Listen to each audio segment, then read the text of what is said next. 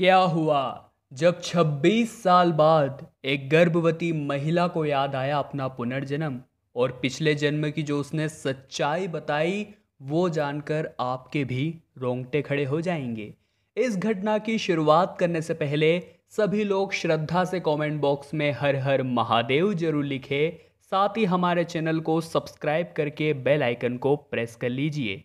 बात है राजस्थान के उदयपुर की। माधुरी नामक एक लड़की का राजपूत घराने में विवाह हुआ और 26 वर्ष की उम्र में वह गर्भवती हुई।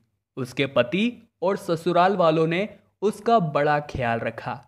देखते ही देखते नौ माह बीत गए और समय आ चुका था माधुरी के डिलीवरी का। उसने एक बहुत ही सुंदर कन्या को जन्म दिया। ससुराल वाले और उसका पति बहुत खुश थे। उनका कहना था कि घर में लक्ष्मी का आगमन हुआ है। उस समय माधुरी बेहोश थी और जब थोड़ी देर बाद उसे होश आया तो वो माधुरी नहीं, बल्कि कविता बनकर जागी। उसका यह कहना था कि मेरे बच्चे को मत मारो, मेरे बच्चे को मत मारो, परंतु उसके ससुराल वाले और उसके पति उसे यह एहसास दिला रहे थे कि तुम्हारा बच्चा सही सलामत है और ये रहा। परंतु उसने उस बच्चे को स्वीकारने से ही मना कर दिया, क्योंकि वो उस समय माधुर्य नहीं कविता बन चुकी थी। और कविता के पीछे का क्या रहस्य था, जब उसके ससुराल वालों ने जानने की कोशिश करी तो उसने बताया कि मेरा नाम कविता है और मैं राजस्थान के अलवर में रहती हूँ। हमारे पूरे गाँव में बेटियों को लेकर बड़ी नफरत फैली हुई है। सभी चाहते हैं कि उनके घर बेटे का ही जन्म हो, बेटी का नहीं।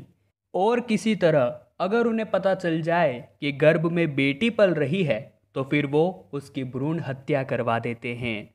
माधुरी के रूप में कविता ने बताया कि एक समय की बात है जब मैं भी गर्भवती थी। मेरा सातवां महीना चल रहा था।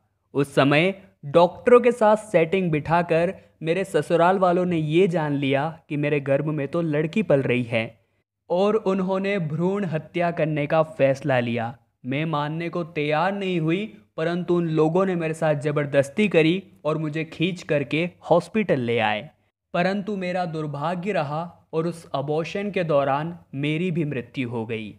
परंतु आज मुझे अपना पिछला जन्म याद आ गया है और अब मैं किसी भी हालात में अपने ससुराल वालों को सजा दिलवा कर रहूँगी। अब अचानक से इतनी गंभीर बातों को सुनकर माधुरी के ससुराल वाले भी सोचने पर मजबूर हो गए। उन्होंने सोचा कि अब तो राजस्थान के अलवर जाना ही पड़ेगा। उसके बाद वो माधुरी को लेकर के राजस्थान के अलवर पहुँचे। वहाँ किसी ने भी उसको एक भी एड्रेस नहीं बताया था, परंतु वो बिल्कुल सही पते पर उसके घर अपने आप ही पहुँच गई। मानो, ये कोई चमत्कार था। जब वो वहाँ पहुँची तो उसके पति ने दूसरी शादी कर ली थी। जब माधुरी के ससुराल वालों ने उससे कुछ बात उगलवाने की कोशिश करी तो उसने उन्हें भी कुछ नहीं बताया और उन्हें घर से भगा दिया। अब माधुरी के साथ उसके ससुराल वाले पुलिस स्टेशन पहुँचे और पुलिस वालों को ये सारे घटनाक्रम के बारे में बताया। एक पुलिस वाला बहुत अच्छा था, उसने उनकी मदद भी करी, परंतु बदले में ये कहा कि पुनर्जन्म की इस तरह की बातों को कोर्ट यकीन नहीं करेगा। इसलिए हमारे पास इसके खिलाफ कुछ सबूत होना चाहिए, उसी के बलबूते पर हम इसे गिरफ़्तार कर सकते हैं। और बहुत सोचने के बाद माधुरी के रूप में कविता को वो अस्पताल और वो डॉक्टर याद आया, जिसने उसका अबोशन किया था। उसका चेहरा उसे याद रह गया था और उसी के बलबूते पर पुलिस वालों ने उस डॉक्टर को उठा लिया। जब उससे ठोस पूछताछ की गई, तब उसने ये बात कबूली कि, जी हाँ मैं बहुत सालों से इस गाँव में भ्रूण हत्या करता आ रहा हूँ। और उस समय कविता के पति ने भी उसकी पत्नी का अबोशन करने के लिए, मुझे ही कहा था। परंतु उस अबोशन के दौरान उसकी पत्नी की मृत्यु हो गई थी। डॉक्टर के इस कथन के बाद वो बात भी सत्य साबित हुई, जो माधुरी अपने मुँह से कह रही थी। वो पुनर्जन्म वाकई में सत्य था और डॉक्टर की गवाही पर कविता के पति को उसकी हत्या और भ्रूण हत्या के मामले में गिरफ़्तार कर लिया गया और माधुरी को मनोचिकित्सक के पास ले जाया गया, जहाँ धीरे धीरे वो पुनः माधुरी बनने लगी।